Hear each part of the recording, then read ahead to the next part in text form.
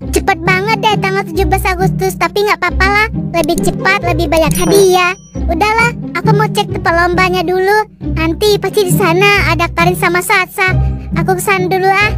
Hah? Apa itu?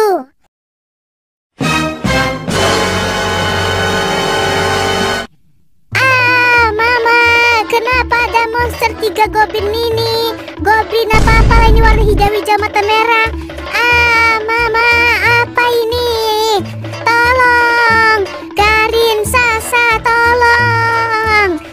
Aku dikejar tiga manusia.